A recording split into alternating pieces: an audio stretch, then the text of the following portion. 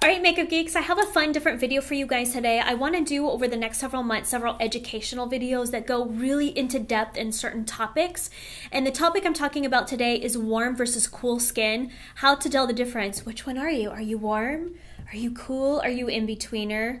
Can you not pick sides? Anyways, I feel like I should have, I have glasses I'm gonna put on no, I'm not. I thought about it. I was like, for the education series, I should feel very smart. I need some glasses, but then I can't see, so I'm not going to put them on. Anyways, you guys, warm versus cool tone, how to tell the difference. One of the main ways that you guys can tell is um, by looking at your skin and figuring out does it have more fiery tones or more watery tones. I don't know if that makes sense. So, fire is very warm, it has oranges, reds, golds. Um, it's very just warm. And with the watery tones, you think of water. It's blue, it's green, it's got purple. Those are very cool tones. So when you look at your skin, do you see where you have very warmth? Is there a lot of yellow undertones to it? Or is it more cool? Does it look more pinkish, kind of have the bluish undertones?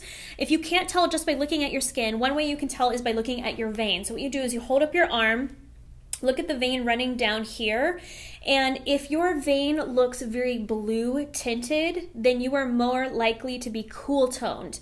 If it looks very green then you're going to be warm toned. If it's in between like it's a tealish color then you can be down the middle which is a neutral tone in general, more people are warm tone than cool. So even if after looking at your skin or looking at your veins, you can't tell the difference, then you're probably going to be more warm. Now, this is a total generalization. This whole video is, it's just to give you an idea. It's not a rule of thumb, it's just a generalization. Um, fair skin, like very porcelain to fair skin, are generally the ones that could be very cool toned. If you are medium to dark skin, more times than not, you're going to have warm under your tones. You're going to have a very caramel, very um, yellow based tone to your skin. How does warm or cool affect my makeup choices? Now, it's not going to affect your eye makeup at all. So, if you want to wear purple eyeshadow or green or teal or blue or whatever, it does not matter what your skin tone is. The only thing that skin tone affects is going to be your face makeup. So, your concealers, your foundations, your blushes, and contours. But everything else on your um, face, such as your eye makeup, even your brows, all of that really depends on your hair, your eye color and your generally your preference. Some people like to wear a lot more bolder colors, some people feel more comfortable in neutrals. So your eye makeup doesn't get affected at all, just your skin. Choosing blushes. Now, I want to try to explain this very clearly so it makes sense. If you are warm skin tone, you generally want to wear the blushes that are cool. You want it to be the opposite of your skin tone. I'm going to say it again. for your blushes, you generally want to choose the opposite of what you are. So for me, I'm very neutral, but um, I tend to wear more warmer foundations. I blend them down the neck because warm uh, foundations tend to be a little bit more flattering. So again, if you can't pick or you can't find your right foundation, we'll get in the next step. I go for more warm. So right now, my skin's very warm looking. So I like to wear a neutral or cool toned blush because it's more flattering. If you have a lot of yellow undertones to your skin and you wear a yellow based blush, such as a peach one, I'll show you an example. So this is a peach blush. This is Makeup Geek Bliss. If you have very yellow toned skin, you could wear this. I'm not saying you can't, but in generally it blends into the skin and it can make it look almost too warm. So it's generally more flattering to go with something that's either neutral, like this is Spellbound, or you could go for something more cool or even purple tone, which would be like Rendezvous, because it pops against the skin more.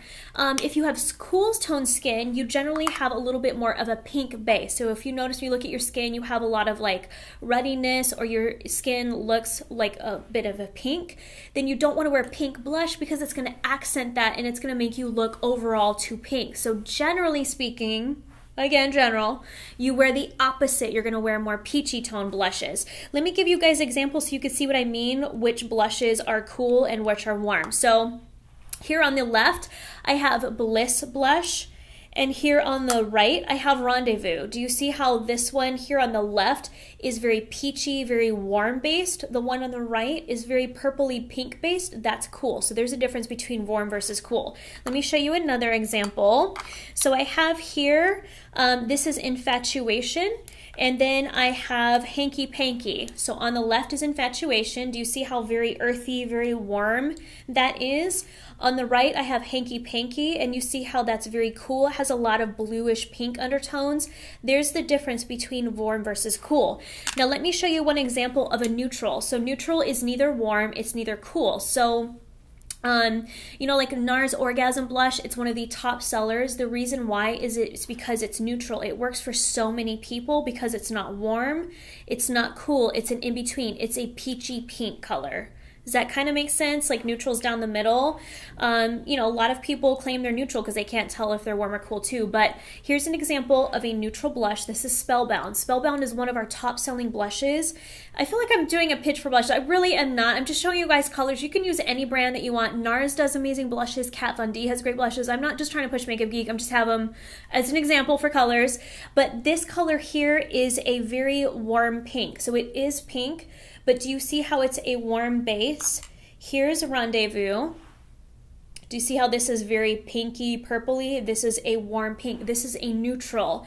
So pretty much anyone can wear this shade because it's right down the middle. It's not warm and it's not cool. So does that kind of make sense for blushes?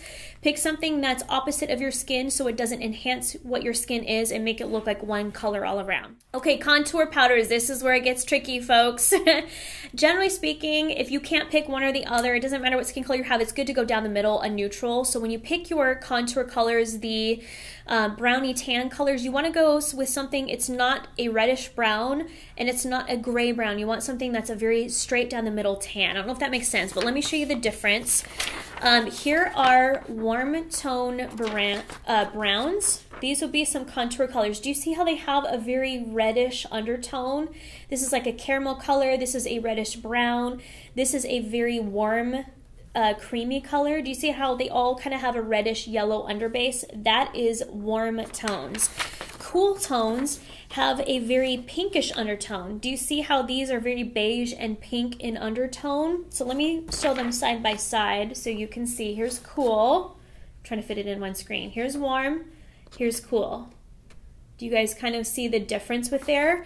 With contour powders, if you are trying to pick and you can't decide, if you can't find any neutrals, and you know how when you buy contours, most of them are warm. They all have like a reddish undertone base, which is fine if you have warm skin. Contour powders, you want to pick the same color as your skin. I'm going to say that again because this is different from blushes. For contours, you want the same color as your skin. So if you have cool tone skin, if you are um, if you are a porcelain girl, say you have red hair, you have fair skin, you have a lot of pink undertones to your skin, you want a very cool tone contour because if you pick something that's too warm, you can look like an Oompa Loompa and it looks like you have an orange stripe under your cheeks. Have you seen that? Have you seen girls walking around? Because I have. I've seen the orange streak. I'm like, oh, honey, please let me show you how to pick a contour color. It's tricky. No one can do it right. It doesn't, I, I feel bad. I'm not like trying to put people down, but I'm just saying there's not really good education. There's not a good variety of products out there that allow for you to pick the right contour for your skin. And I promise I will do this in detail later, showing you application and everything. And I'm working on contour powders that are clearly labeled. They're coming out soon, I promise, to help all of you guys figure out what to wear. But if you are cool tone spin skin, pick something that has one of these colors. It's very pinky beige undertone. Let me see if I have one with me. I don't.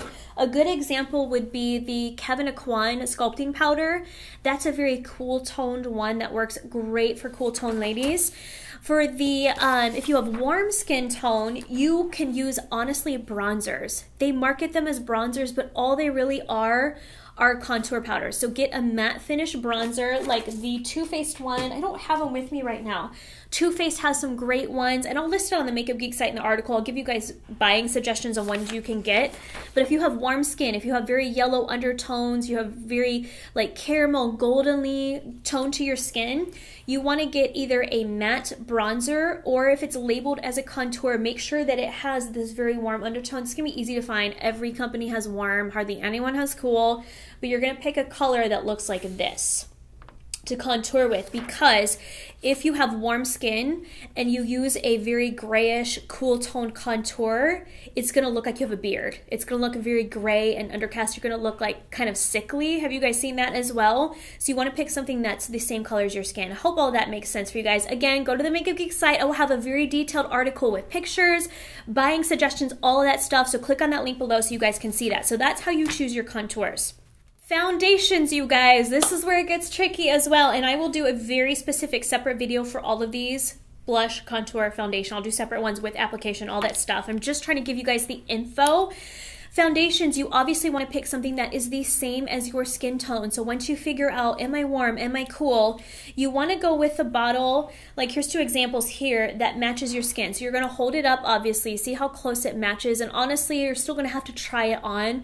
So make sure wherever you buy your foundation has a good return policy so you can take it home, wear it for a couple days, go outside in natural daylight and see what it looks like. Take a selfie, look at the picture, be like, oh no or you could be like, oh, yes, it matches. so take pictures. If it doesn't work, take it back, get a different color. But you want to find something that has the same undertones as your skin. So right now, like I said, I'm going for more warm.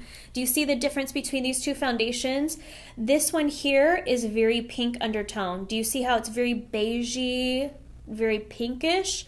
and this one here is very goldeny undertone. There's the difference. If I had to pick between these two what I would wear, because I'm going more warm right now, I would go with this side.